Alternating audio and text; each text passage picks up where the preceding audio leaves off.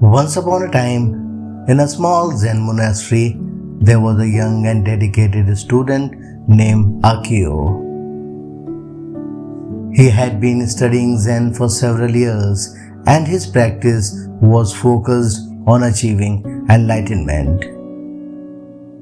One day, his teacher, a wise and respected Zen master, gave him a task that would test his patience and mindfulness. He was instructed to keep a single candle flame burning steadily all night long without letting it flicker or die. Akio was excited to receive such an important task from his teacher. He found a small room where he could focus on the task at hand, and he set up the candle on a wooden table. He prepared himself by meditating for a while, clearing his mind and calming his breath. For the first few hours, everything went smoothly. He watched the flame carefully, making minor adjustments to the wick and blowing on it to keep it steady. But as the night progressed, the flame began to act unpredictably. It flickered and danced, sometimes growing brighter and sometimes dimmer, no matter what Akio did to control it. He became increasingly anxious and frustrated, wondering if he was failing his teacher and his practice. Akio began to obsess over the flame, trying harder and harder to control it. He found himself blowing on it more frequently and adjusting the wick every few minutes. However, despite all his efforts, the flame continued to flicker and dance, seemingly mocking his attempts to control it.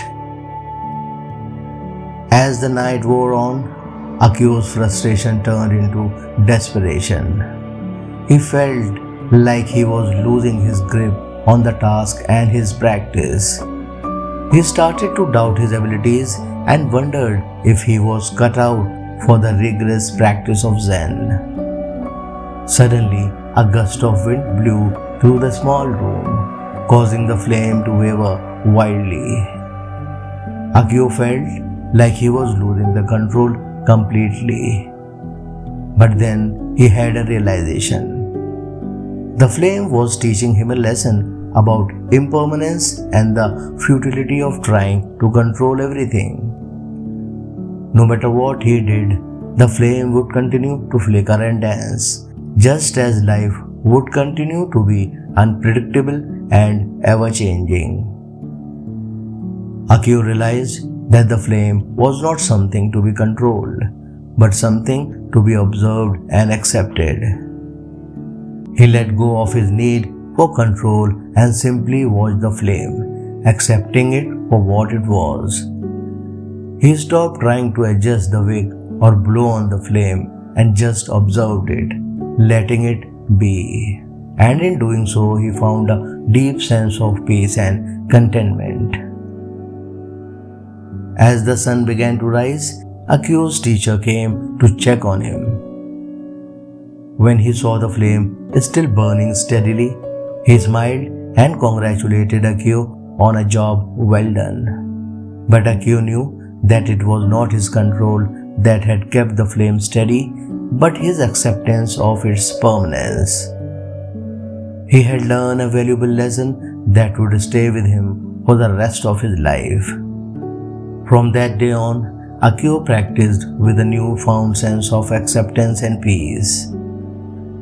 He realized that the flame had been a powerful teacher, showing him the way to a deeper understanding of the nature of life itself.